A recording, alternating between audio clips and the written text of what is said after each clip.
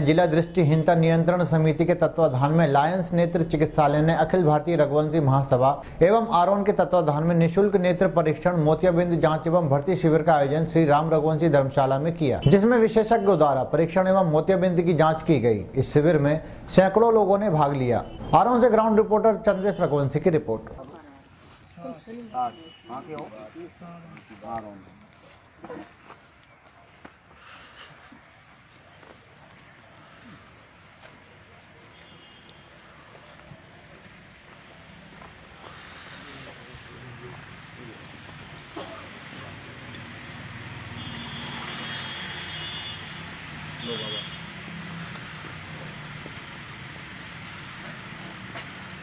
अम्मा जी का नाम है?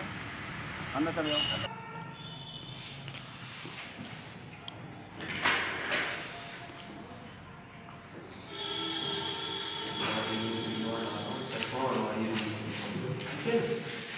भारतीय रघुवंश सभा की ओर से परत के लिए ये कार्य किया गया है। हर वर्ष कार्यक्रम करेंगे। अभी ऐसा हमने लक्ष्य लिया।